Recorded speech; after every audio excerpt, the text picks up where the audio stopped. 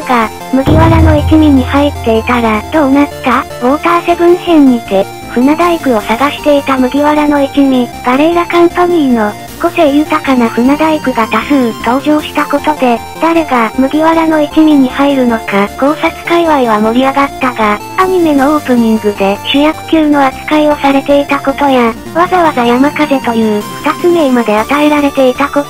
これ以降呼ばれてない、メリーゴをめぐる揉め事で、ウソップが一味を辞めることになったこと、新たな花枠としてちょうど良いことから、核が仲間になるのではないかと盛り上がったが、結局仲間になることになったのは、まさかの解体やフランキー。ここでも資格が仲間になっていたとしたら、戦闘能力はかなり高い人物であるため、麦わらの一味の戦力は大幅に強化されていたと思われるが、ウソップが戻ってこなかったとしたら、麦わらの一味は次のスリラーバークでペローナによって全滅させられていただろう。